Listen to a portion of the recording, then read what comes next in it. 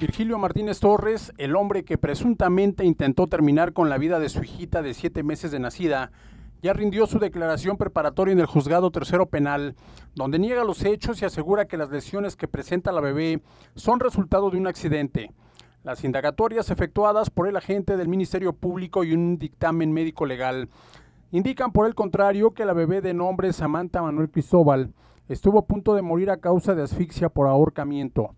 El joven indígena, originario de una comunidad de la región Mije, está enfrentando cargos por violencia intrafamiliar, lesiones calificadas con ventaja y traición y abuso sexual agravado.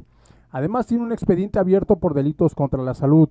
Son al menos tres las víctimas de este hombre capturado la semana pasada en el Hospital General Aurelio Valdivieso.